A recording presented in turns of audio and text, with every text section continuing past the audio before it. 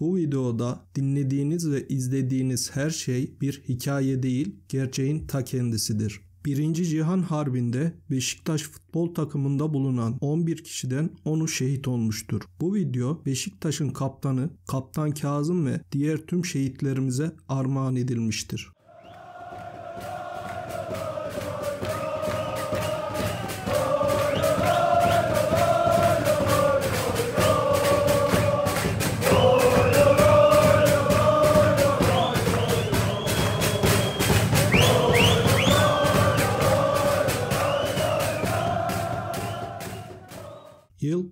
1902. Bir sonbahar zamanı. Ağaçların daha canlı yeşermeleri için yaprak döktüğü gökyüzünün hıçkırıklara boğulduğu bir sonbahar.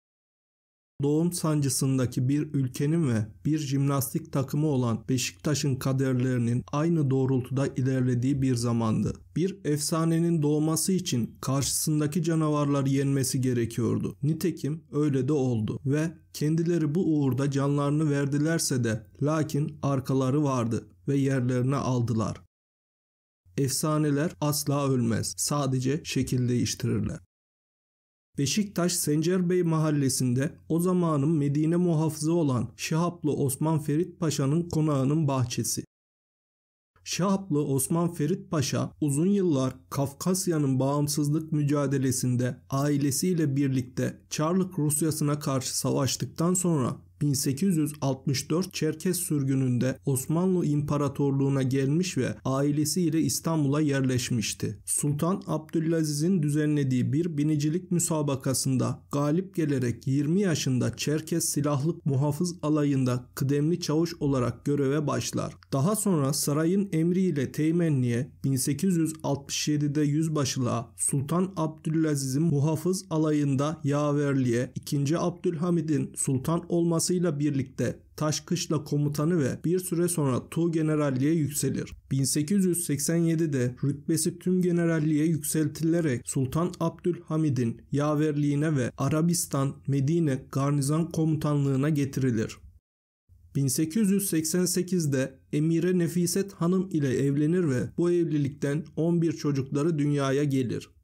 1 Kasım 1901'de ailesiyle birlikte İstanbul'a döner. 7 Nisan 1902'de Şeyhül Harem'in yani Peygamberimizin Medine'deki türbesinin ve Harem-i Şerif'in koruyuculuğuna ve Hicaz'dan Najd'a kadar uzanan geniş bölgeye kumanda eden ordunun generalliğine atanır. Ağaçların yaprak döktüğü 1902 sonbaharında Şahaplı Osman Ferit Paşa Beşiktaş Sencerbey'deki konağını satın alırken Türk spor tarihinde bir efsanenin doğacağı binayı satın aldığını bilmiyordu elbette. Dedim ya her doğum gibi bu doğum da sancılı bir süreçten geçecekti. Sencerbey'deki konağının bahçesinde oğulları Mehmet Şamil, Hüseyin Bereket ve Hamza Osman mahalleden arkadaşları ile birlikte kurdukları ve eskrim, güreş, boks, aletli jimnastik, barfix gibi sportif faaliyetlerde bulundukları kulübe Çerkezce bir isim olan Bereketiko Jimnastik Kulübü ismini vermişlerdi. Başta Osman Paşa'nın oğulları Mehmet Şamil ve Hüseyin Bereket ile mahallenin gençlerinden Ahmet Fetkeri, Mehmet Ali Fetkeri, Nazım Nazif, Cemil Fethi ve Şevket Beylerin de aralarında bulunduğu gençlerin ilk ilgilendikleri spor branşları özellikle barfix, paralel, güreş, halter, aletli ve aletsiz jimnastikti. O ilk sancı ise patlak vermişti. O sıralarda siyasi hareketler dolayısıyla her türlü toplanmanın yasak olduğu günlerde hafiyeler dolaştıran 2. Abdülhamid'in adamları Sencerbey'deki bu toplanmaları haber alınca spor yapan gençler bir baskınla karakola götürülürler. Bu sporcu gençlerin bir kısmının saray erkanına yakın olması Ayrıca o dönemde kötü gözle bakılan futbol oynamadıkları ve sadece beden hareketleri yaptıklarını belirtmeleriyle gergin durum yumuşar. Hatta saray çevresinden Şehzade Abdülhalim bu sporcuları destekledi ve sık sık antrenmanları seyretmeye başladı. Ünlü boksör ve güreşçi Kenan Bey de antrenmanlara gelerek güreş ve boks hareketleri göstermeye başladı. 1903 Mart'ında ise özel bir izinle Bereket Jimnastik Kulübü kuruldu. 1908'de meşrutiyetin ilanıyla sportif hareketler biraz daha serbestlik kazandı. 13 Nisan 1909'daki 31 Mart siyasi olaylarından sonra Edirne'de bulunan Fuat Balkan ve Mazhar Kazancı harekat ordusu ile İstanbul'a gelirler. Siyasi olaylar yatıştıktan sonra iyi bir eskirim hocası olan Fuat Balkan ile başta güreş ve halter sporlarını yapan Mazhar Kazancı, Sencer Bey de jimnastik yapan gençleri bularak birlikte spor yapma fikrini kabul ettirir. Fuat Balkan, Ihlamur'daki evinin altındaki yeri kulüp merkezi yaptı ve Bereket Jimnastik Kulübü'nün adı Beşiktaş Osmanlı Jimnastik Kulübü olarak değiştirildi. Bu arada Beyoğlu mutasarrıfı Muhittin Bey'in teşvikiyle Beşiktaş Osmanlı Jimnastik Kulübü 26 Ocak 1911 tarihinde tescil edilen ilk Türk spor kulübü oldu. Bilindiği üzere Beşiktaş'ın ilk renklerinin kırmızı beyaz şeklinde olduğu ancak Balkan Savaşı'nın kaybedilmesinden sonra şehit düşen, yaralanan veya esir edilen 340 binden fazla askerin anısına yasını tutmak amacıyla formadaki renklerin karartılıp siyah beyaz olarak değiştirilmiştir. Yıl 1914 ve 1. Dünya Savaşı başlamış durumdadır. Osmanlı İmparatorluğu da Almanya yüzünden savaşa dahil olmuş Beşiktaş ise kurmuş olduğu futbol takımıyla başarıdan başarıya koşmaktadır. Lakin vatanın dört bir yanı sırtlanlarla çevrilmiş bir saldırı altındayken hiçbiri bu duruma sevinemezler. Akif'in de dediği gibi garbın afakını sarmışsa çelik zırhlı duvar benim iman dolu göğsüm gibi serhattim var. Ulusun korkma nasıl böyle bir imanı boğar medeniyet dediğin tek dişi kalmış canavar. Akif'in daha sonraları yazacak olduğu milli marşımızın tohumları toprağa düşerek yeşermesini sağlıyor ve onun ruhunu oluşturarak yeni filizlerini oluşturuyordu. Bu yıllarda yine bir maç sonrası Doktor Mehmet soyunma odasında takıma hitap etmeye başlar. Memleket dört bir yanda savaşıyor.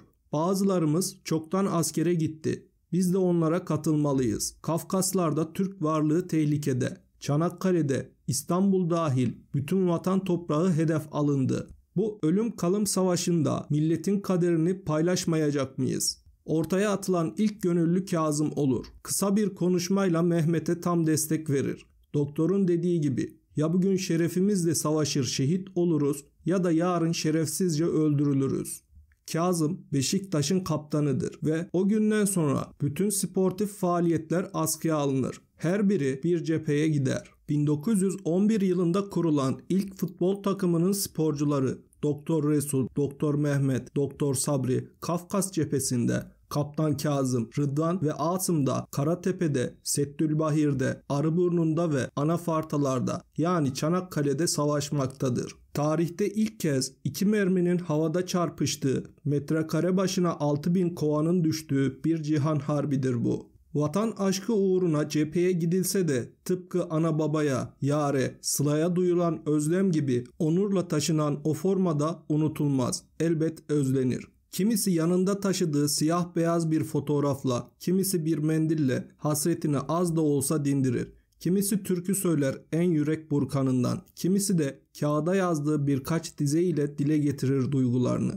İşte o dizelerden bir tanesi de Beşiktaş'ın kaptanı Şehit Kazım'ın kaleminden dökülür kağıda. Askeri üniformayı giydiği ilk günlerde kendisini Beşiktaşlı formasıyla tanıyan komutanın Emir Erim ol teklifine ben sporcuyum diğerlerine göre daha sağlıklı ve atayım diyerek yanıt veren ve doğrudan cepheye görev almaya gönüllü olan Kaptan Kazım. Edebiyata gönül vermiş, vatansever bir futbolcu. Görev aldığı 27. alaydaki mevzisine gelen bir gülleyle şehitlik mertebesine ulaştığında cebinden kanlar içinde bir kağıt parçası çıkar. Kaptan Kazım şehit olduğunda cebinden çıkan bu şiir Beşiktaş'ın ilk ve belki de en önemli şiiriydi. Beşiktaş için Beşiktaş forması giyen ve şehit olan bir futbolcu tarafından kaleme alındığı için özeldi.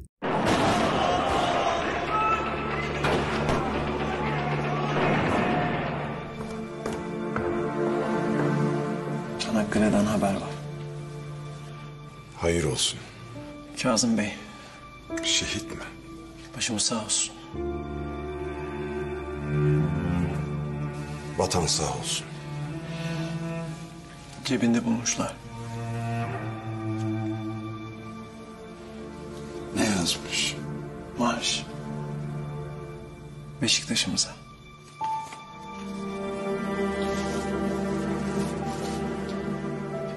Biz 11 arkadaşız. Lakin arkamız daha var. Beşiktaş futbol takımından cephede biri hariç 10 vatan evladı şehit olmuştur ve bu dizeler Beşiktaş'ın ilk marşı olmuştur. Karanlık kuruldu geceye, bir ümit var yine içimde. Kimsesiz bu puslu gecede, bırakmam bir vatanı, bir de Beşiktaş'ım seni. Ruhlar yorgun, yollar habersiz. Söz tükenmiş, beste habersiz. Deplasmandayız, olmaz sensiz. Bırakmam bir vatanı, bir de Beşiktaş'ım seni. Biz 11 arkadaşız. Lakin arkamız daha var. Beşiktaş'ın armasında yer alan ilk beyaz çizgi biri, 3 siyah çizgi 3'ü ve ikinci beyaz çizgi de biri temsil etmektedir. Amblem 9 bölümden meydana gelmiştir. Yukarı kısımda yer alan 4 numara yan yana yazıldığında Rumi takvimde kulübün kuruluş yılı olan 1903 sayısına denk gelen 1319 sayısı ortaya çıkmaktadır. Beşiktaş ilk tescil edilen kulüp olması sebebiyle armasında Türk bayrağı taşıma hakkı kazanmıştır. Hey Yedi Kazım. Vatanı da Beşiktaş'ı da bırakmadı. Bırak. Kazanayım da nasıl kazanırsam kazanayım diyorsan bırak. Spor sadece bir şov, para pul işi diyorsan bırak. Yap transferi, al yıldızları, altyapı devri çoktan kapandı diyorsan bırak. Maça çıkmışım, gol atmamışım, puan kazanmamışım. Bana ne faydası var diyorsan bırak. Semt takımından dünya takımı mı olur diyorsam bırak. Kadının sahada yeri yok, evde işi çok diyorsan bırak. Haksızlığa susanı, bana dokunmayan bin yaşasın diyeni hemen bırak. Bırak gitsinler. Heh. Geriye Beşiktaş kalacak. Saf ve temiz.